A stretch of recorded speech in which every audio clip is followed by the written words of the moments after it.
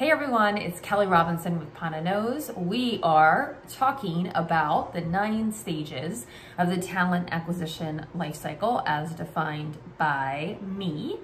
Um, we are on stage eight of nine. So we've gone through stage one, defining the requirements, stage two, building a sourcing strategy, stage three, resume review and preparation, Stage four, pre-qualification. Stage five, interviewing. Stage six, decisioning.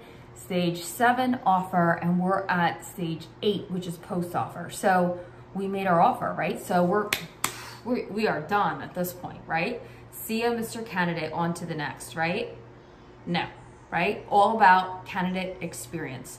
There are a lot of things that still need to be done now over the next two or three weeks before they start. So first things first, you make sure that the client, the hiring manager, the client, whomever, someone calls the candidate to welcome them.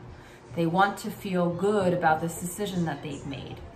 You also want to make sure they understand what kind of paperwork that they need to do. There are always lots of steps that they have to make sure that they understand.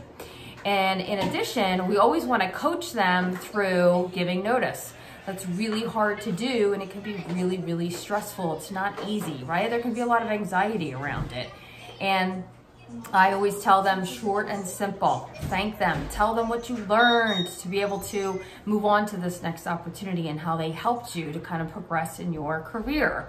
So I like to coach them. Um, I like to ask them always afterwards to call me, text me, or email me and let me know how it went. Um, it's often a relief when they when that happens. The other thing is I always like to make sure I follow up every four to six days just to check in. Is there anything I could do? How are you feeling? What do you need?